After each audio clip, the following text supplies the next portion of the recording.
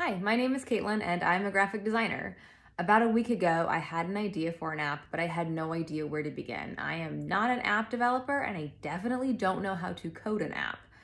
So I did a quick Google search about Figma, app creation, no code, and Buzzy was the very first search result that got pulled up. So I downloaded the plugin and I was immediately blown away by how simple and easy it was.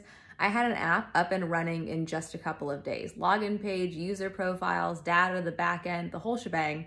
And it's all because of Buzzy.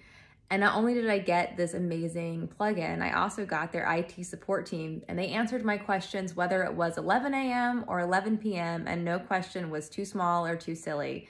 Uh, they were just a joy to work with and I cannot recommend them enough. I hope that if you are starting to create your own app that you take a look at Buzzy. It'll make your life so much easier.